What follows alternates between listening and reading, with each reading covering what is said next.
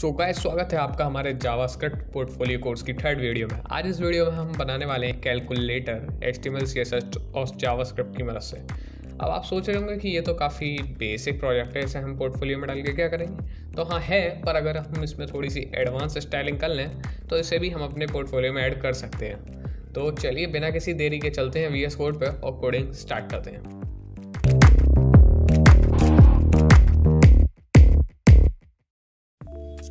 तो यहाँ सबसे पहले हम एक फोल्डर बना लेंगे, उसे नाम देंगे कैलकुलेटर और उसे एस कोड में खोल लेते हैं। फिर उसके बाद हम यहाँ तीन फाइल्स बनाएँगे, जो कि होगी हमारी H T M L C S S और जावास्क्रिप्ट फ़ाइल उसके बाद हम यहाँ एच फ़ाइल में बॉर्डर प्लेट डाल के कोडिंग स्टार्ट करेंगे। यहाँ पे टाइटल दे देंगे कैलकुलेटर उसके बाद हम सी एस एस लिंक कर लेंगे और उसके बाद हम जावा जावास्क्रिप्ट भी लिंक कर लेते हैं।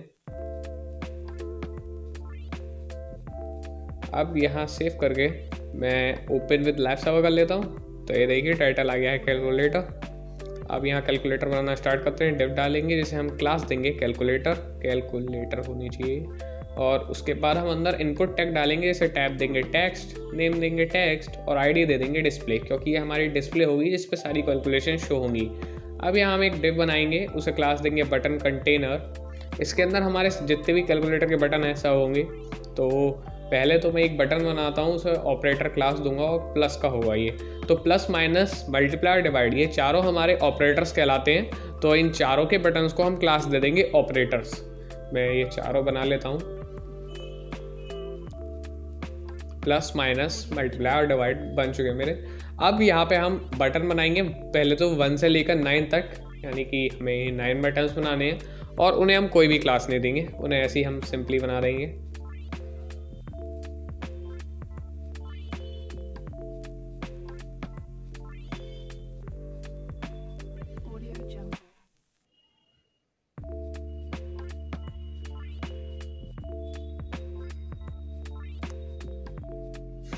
इसके बाद हम एक बटन बनाएँगे, जिसे हम क्लास दे देंगे डेसिमल ये हमारा डेसिमल का बटन होगा तो यहाँ हम पॉइंट कर देते हैं यहाँ पे, क्योंकि डेसिमल तो वही होता है ना पॉइंट तो इसके बाद अब हम ज़ीरो का भी बटन बना लेते हैं। ज़ीरो में भी कोई क्लास नहीं देंगे, जो मतलब हमारे नंबर्स हैं नॉर्मल उनमें कोई क्लास नहीं देनी हमें।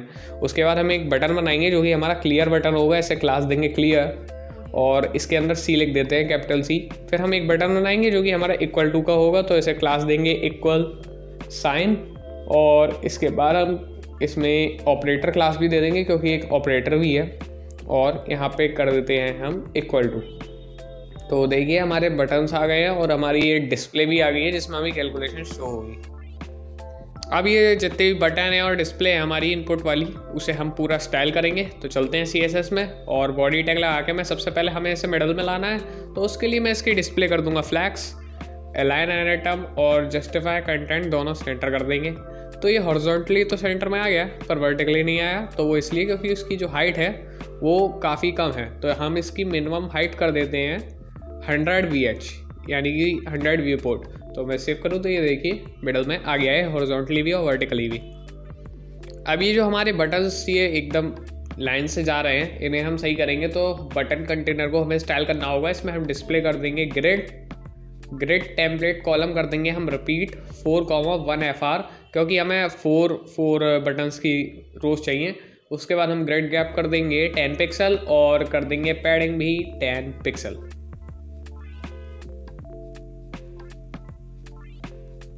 तो ये हमारा अब तक लेआउट काफ़ी अच्छा बन गया है। उसे कलर वलर देंगे तो हमारा वो जो कैलकुलेटर डिव है, उसको हम स्टाइल करेंगे या हम कर देंगे, इसकी मिनिमम विथ कर देते हैं 400 पिक्सल ताकि ये थोड़ा बड़ा हो जाए। और इसका बैकग्राउंड हम अभी ऐसे ही कोई रैंडम चूज़ करके लगा देते हैं।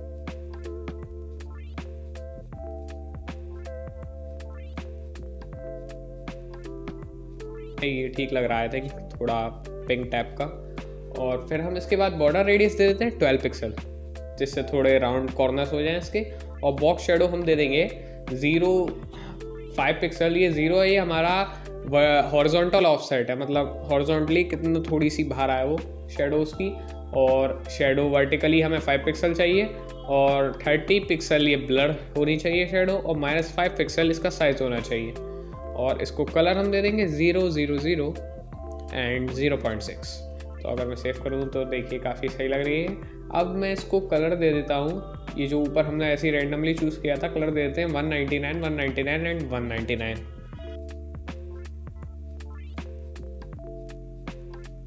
तो ये देखिए ये सही हो गया काफ़ी हमारा अच्छा लग रहा है। अब हम इसको सेपरेटली बटन्स को स्टाइल करेंगे और इनपुट को भी।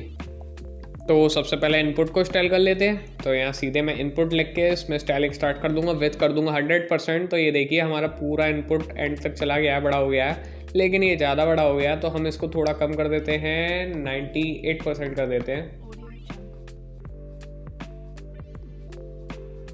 अब हम इसका फॉन्ट साइज़ बढ़ाएँगे 45 पिक्सल पे। ये देखिए मैं लिख के भी दिखा देता हूँ। अब इसका कलर हम कर देते हैं वाइट और अभी बैकग्राउंड कलर हम इसका ब्लैक कर देंगे। उससे पहले हम इसका बॉर्डर नन कर देते हैं। फिर हम इसका बैकग्राउंड करेंगे ब्लैक ऊपर हम वेथ थोड़ी बढ़ा देते हैं 99 परसेंट कर देते हैं। और बॉर्डर रेडियस कर देते हैं हम इसकी। 10 पिक्सल इधर से 10 पिक्सल राइट वाले, ऊपर वाले कॉर्नर से और ज़ीरो ज़ीरो दोनों नीचे कॉर्नर से। तो ये देखिए, ऊपर से ये दोनों साइड से राउंड हो गया और नीचे से बिल्कुल जैसे होता है रेक्टेंगल वैसे ही शार्प है। अब हम इसे पैडिंग दे देते हैं। फाइव पिक्सल तो अब ये हमारे काफ़ी अच्छे लग रहे हैं। अब हम सेपरेटली मतलब जो हमारे इंडिविजुअली बटन हैं उन्हें स्टाइल करेंगे, पूरे कैलकुलेटर को नहीं करेंगे। तो यहाँ लिखेंगे बटन फिर हम डालेंगे करली ब्रैकेट्स फिर उसके अंदर हम सबसे पहले तो बटन ये जो जितने भी हैं, उनकी मेन विथ सेट कर देंगे, जो कि हम कर देंगे फिफ्टी पिक्सल फिर उनका फॉन्ट साइज़ हम कर देंगे ट्वेंटी पिक्सल जिनसे थोड़ा उनके अंदर के नंबर्स बड़े हो जाएँ। और फॉन्ट वेट कर देते हैं hundred border none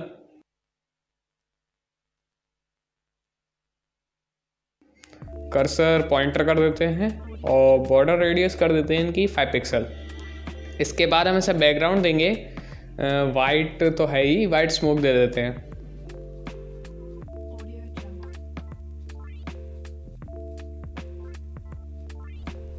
तो यहाँ तक हमारी मेन स्टाइलिंग पूरी हो गई है। अब हम यहाँ पे कुछ एक्स्ट्रा स्टाइलिंग देने की कोशिश करते हैं, जैसे हम ऑपरेटर्स में हमारे बैकग्राउंड कलर कर देते हैं इसका ग्रे सबसे अलग, और कलर कर देते हैं एवरी और इसका थोड़ा फॉन्ट साइज़ भी बढ़ा के थर्टी पिक्सल कर देंगे हम। तो मैं सेव करके दिखाता हूँ तो ये देखिए, थोड़ा ये क्या हुआ है क्यों नहीं?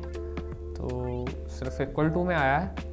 अच्छा यहाँ पे हमने क्लास में गड़बड़ हुई है। क्लास यहाँ पे मैं इसकी ऑपरेटर्स कर दूँगा, और यहाँ पे भी एस कर देता हूँ। तो ये देखिए, सब में हो गई है और सब मतलब ऑपरेटर्स हमारे नंबर्स बाकी नंबर से थोड़े अलग लग रहे हैं इससे। अब मैं जो है यहाँ पे जो मेरा इक्वल टू वाला साइन है ना, उसका मैं बैकग्राउंड कलर चेंज करूँगा और पहले मैं उससे यहाँ पे इसे साइड में करूँगा। तो ग्रेड कॉलम फोर कर देता हूँ, जिससे फोर्थ कॉलम में आ गया।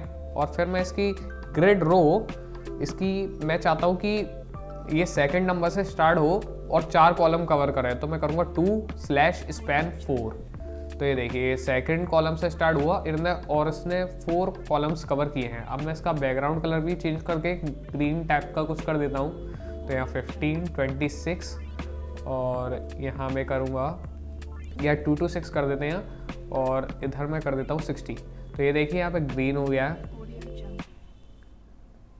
अब मैं यहाँ पे जो मेरा क्लियर बटन है, उसका भी बैकग्राउंड कलर चेंज करके रेड कर देता हूँ। तो ये भी थोड़ा अलग दिख रहा है और उसका कलर वाइट कर देते हैं, तब और बढ़िया दिखेगा। यस अब ये काफ़ी अच्छा दिख रहा है। मैं बटन की थोड़ी सी यहाँ पे पैडिंग बढ़ा देता हूँ पैडिंग टेन पिक्सल कर देते हैं इसकी। तो अब ये इसकी और विजिबिलिटी अच्छी हो गई है और पहले से और बेटर दिख रहा है। अब हम ऐसा करते हैं, इसमें कुछ और होवर ऐड करते हैं और एक्टिव जो हमारी सी होती है, वो ऐड करते हैं, जिससे कि और बेटर दिखने लगेगा।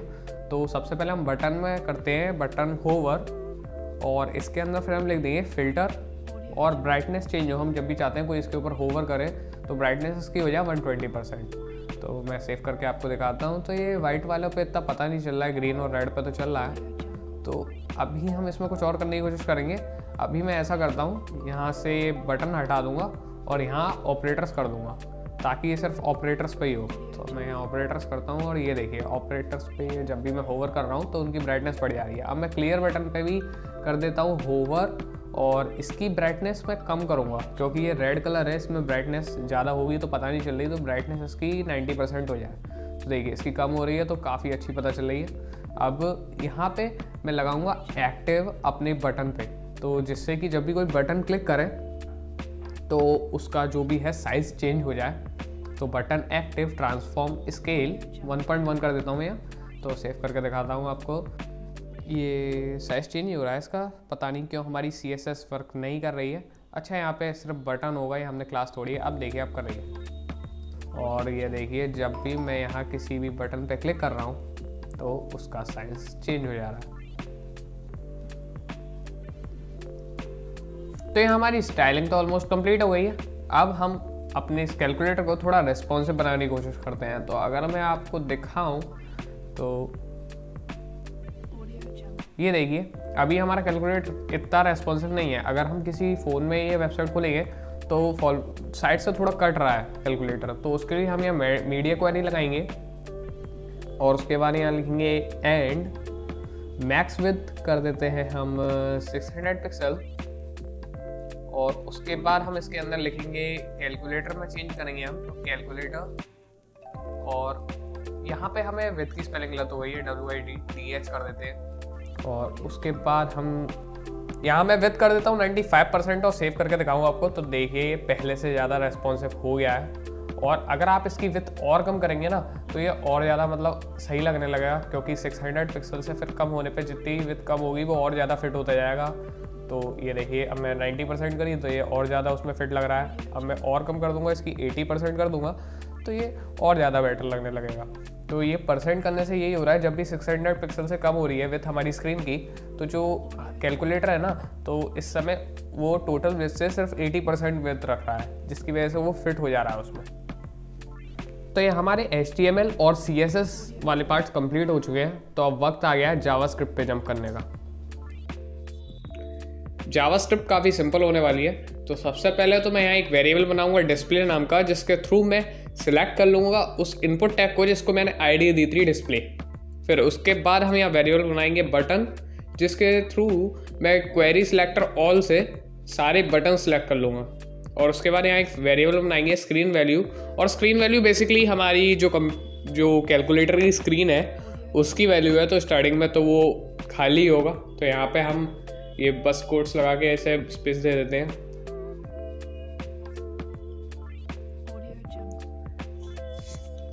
इसके बाद हम फॉल लूप का यूज़ करके लिखेंगे यहाँ पे आइटम ऑफ़ बटन तो बेसिकली ये बटन हमने जितने भी एलिमेंट सेलेक्ट करे हैं उसके थ्रू इस वेरिएबल के थ्रू उन सब के आइटम हो गए। और फिर इसके आइटम पे हम एडिमेंट लिसनर लगाएँगे और लिख देंगे क्लिक और यहाँ पे हम ई एरो फ़ंक्शन का यूज़ करके लिखेंगे button text equal to E dot target dot inner text तो बटन टेक्स्ट जो भी हमारा सपोज़ हमने बटन क्लिक किया सेवन तो सेवन का जो इनर टेक्स्ट होगा ना, वो आ जाएगा यहाँ पे, हमें रिटर्न हो जाएगा और उसकी जो मतलब वेरिएबल होगा, उसका बटन टेक्स्ट होगा, उसे हम बटन टेक्स्ट कहेंगे। इसके बाद हम यहाँ पे लिखेंगे display dot value equal to button text. तो बेसिकली जब भी हम कोई बटन क्लिक करेंगे तो उसका जो इनर टेक्स्ट होगा, वो हमारी जो इनपुट टैग है, वहाँ पे शो होने लगेगा। तो देखिए, जब भी मैं कोई बटन क्लिक कर रहा हूँ, वो बटन हमारे कैलकुलेटर की स्क्रीन पे शो हो रहा है। तो ये देखिए मैंने, लेकिन अभी एक प्रॉब्लम है कि जो भी मैं नया बटन क्लिक कर रहा हूँ तो पुराना बटन इरेज हो जा रहा है, फिर नया बटन शो हो रहा है। तो उसके लिए सिंपली बस हम यहाँ लिख देंगे प्लस तो ये प्लस इक्वल टू हो गया। अब यहाँ पे अगर मैं बटन क्लिक करता हूँ तो देखिए बटन प्लस होते जा रहे हैं। जैसे nine eight seven four one. तो बटन आते जा रहे हैं। तो देखिए, अब मैंने यहाँ इक्वल टू क्लिक किया तो इनने इक्वल टू प्रिंट ही कर दिया। जबकि यहाँ पे इक्वल टू क्लिक करने पे इसे ये सम सॉल्व कर देना चाहिए था। तो इसे फिक्स करने के लिए हम जावास्क्रिप्ट में आते हैं और यहाँ पे लिखते हैं इफ़ और इसके अंदर हम कंडीशन डालेंगे button text double equal to equal to then display dot value equal to evaluate function और अंदर डाल देते हैं हम स्क्रीन वैल्यू तो बेसिकली ये जो एवेल्यूएट फ़ंक्शन है, ये इसके अंदर जो भी हम अगर टू प्लस थ्री डालते हैं तो वो रिटर्न कर देता है फाइव तो हम जो भी डालेंगे, उसे एवेल्यूएट करके हमें रिटर्न करता है. तो इसके अंदर हमने लिखा है स्क्रीन वैल्यू तो स्क्रीन वैल्यू मतलब स्क्रीन पे उस समय जो भी वैल्यू होगी, ये उसे एवेल्यूएट कर देगा. तो अब यहाँ पे मैं नीचे एल्स लिखता हूँ और ये हटा के यहाँ से यहाँ लिख दूँगा screen value plus equal to button text और उसके नीचे display dot value equal to screen value तो अगर मैं सेव करूँ और आपको दिखाऊँ तो ये अभी वर्क नहीं कर रहा है। तो कोई एरर है तो हाँ स्क्रीन वैल्यू इज़ नोटिफाइड तो यहाँ स्पेलिंग में गलती हो गई। है तो यहाँ मैंने स्पेलिंग सही कर दी है। अब हम कोई सम करके देखते हैं। तो यहाँ पे रुकिए।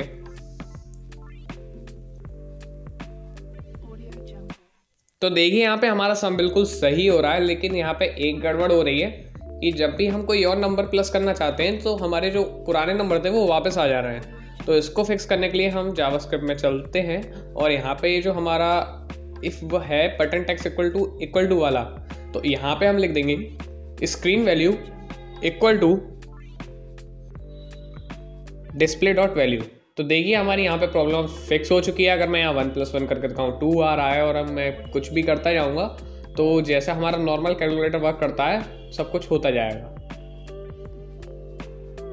यह हमारा सब्सट्रैक्शन भी बिल्कुल सही हो रहा है, लेकिन यहाँ पे जब मैंने मल्टीप्लाई पे क्लिक किया तो यहाँ एक्स आ गया।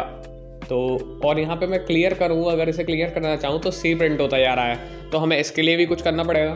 तो हम वापस जावास्क्रिप्ट पर चलते हैं, और यहाँ पे मैं कंडीशन लिखूँगा। एल सिफ लगाएँगे यहाँ पे, और यहाँ पे मैं कंडीशन लिखूँगा। If button text double equal to C then return display dot value equal to empty और स्क्रीन वैल्यू भी हम यहाँ पे एमटी कर देते हैं।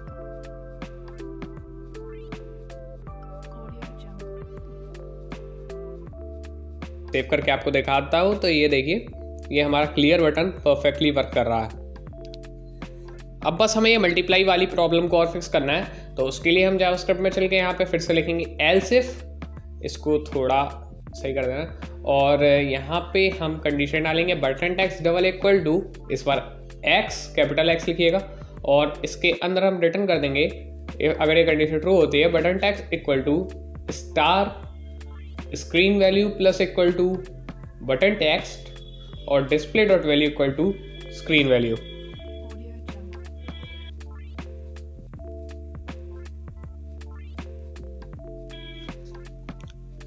अब अगर मैं ये सेव करके आपको दिखाऊँ तो ये देखिए, हमारे जावास्क्रिप्ट का मल्टीप्लाई वाला फ़ंक्शन भी वर्क कर रहा है कैलकुलेटर का। सारे फ़ंक्शन वर्क कर ही रहे थे पहले ही, और मल्टीप्लाई वाला भी करने लगा क्लियर बटन भी परफेक्टली वर्क कर रहा है, और ये रेस्पॉन्सिव भी है। तो हमारा ये प्रोजेक्ट पूरी तरह कंप्लीट हो चुका है। तो अब इसे आप अपने पोर्टफोलियो में ऐड कर सकते हैं। इस वीडियो में इतना ही। मिलते हैं किसी और वीडियो में। Bye guys happy coding